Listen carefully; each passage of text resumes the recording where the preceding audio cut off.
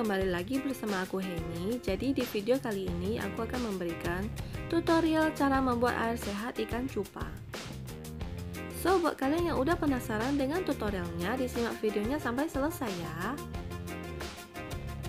dan jangan lupa untuk klik tombol like, komen, dan subscribe buat kalian yang belum subscribe dan nyalain loncengnya biar aku makin semangat untuk buat video menarik berikutnya.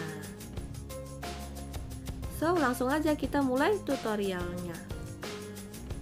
Halo guys, kembali lagi di channel aku Yuk tutorial bersama dengan aku Heni Nah kali ini aku ingin membuat air ikan cupang sehat ya guys Nah ini kan aku ada beli ikan cupang nih 10 ekor Nah, kadang kalau dikasih air gini ikannya suka sakit, guys. Jadi, kita mau membuat tutorial air ikan cupang sehat ya, guys. Nah, sebelum kita mulai, guys harus sediain airnya. Airnya ini harus endapan minimal satu hari ya, guys, sama toples seperti gini. Kadang pakai soliter juga boleh kok. Jadi biasa aku pakai um, soliter um, 4 liter gini supaya bisa ditingkatkan guys. Seperti gini guys. Ditingkat-tingkat biar nggak makan tempat. Nah kita mulai saja ya guys ya. Jadi uh, udah diisi air.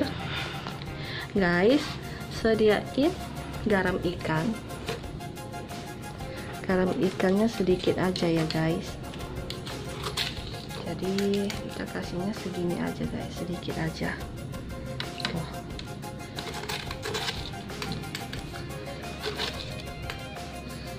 Oke sedikit sedikit aja guys ya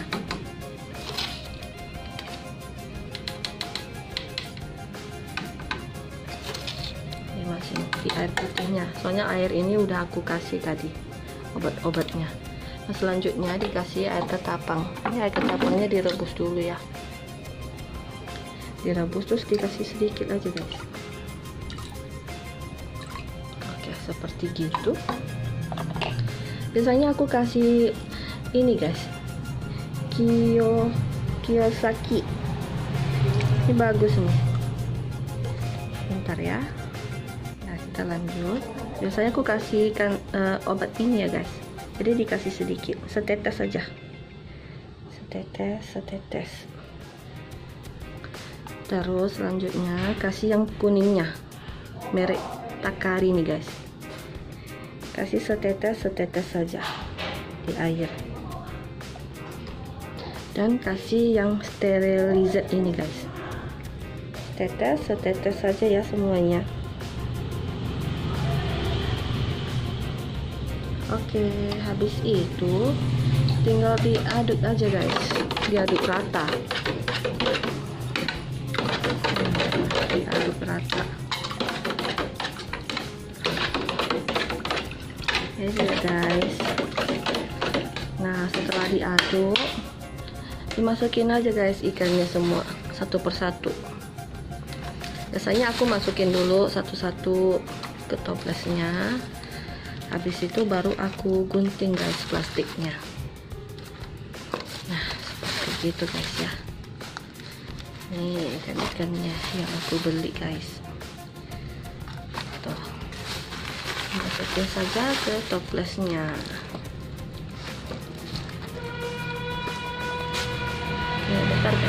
Nah setelah semuanya udah dimasukin langsung digunting aja guys ikannya dari plastik dimasukin aja ke toples gitu guys.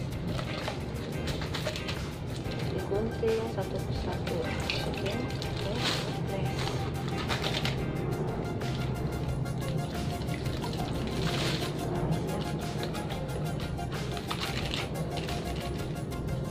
ini biasanya kayak gini guys. Biar cepet gitu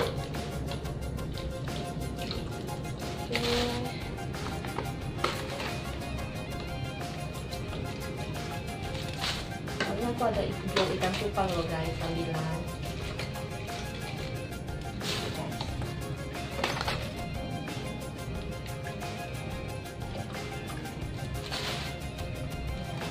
ini ya guys.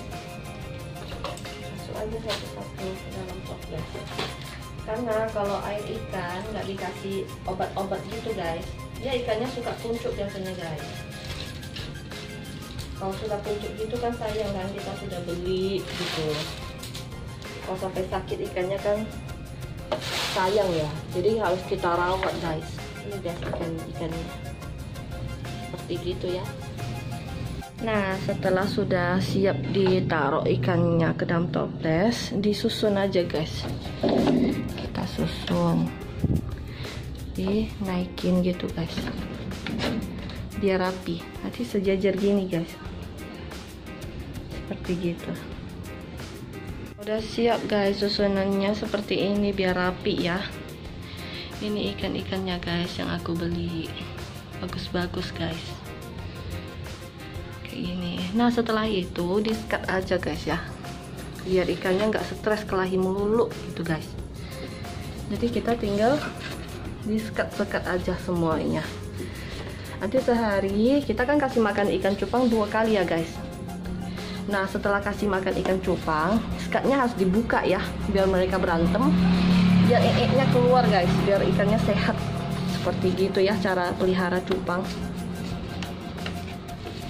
Oh iya guys, saya mau kasih tahu, ini airnya bisa tahan 10 hari ya guys, nggak diganti. Kalau ada ee-nya itu, ee-nya ikan itu dicedok aja guys. Jadi kita nggak usah ganti air terus kan, capek kan. Nah setelah dikasih makan ikannya itu biasanya dibuka aja guys katnya. Sehari dua kali guys. Jadi biar ikannya itu mereka berantem berantem dulu gitu guys, biar sehat. Ikannya, biar ee-nya keluar guys.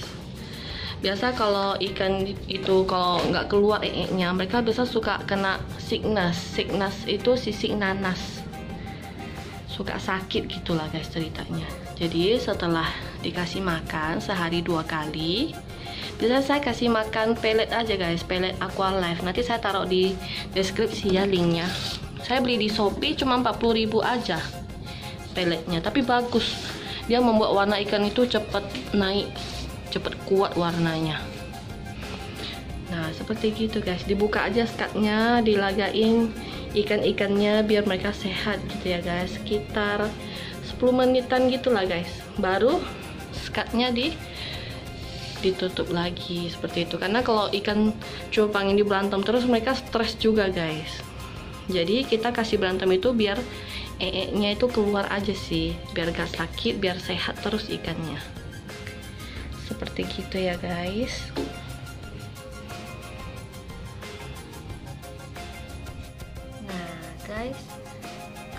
ikannya dia nyaman sama air biasanya dia buat buih guys. Di toples-toplesnya. Ada buih-buihnya guys. Seperti gitu.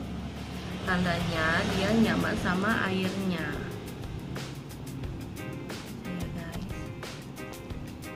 Biasanya air ini sih tahan 10 hari sih guys. Jadi biar nggak capek kan ganti air melulu gitu.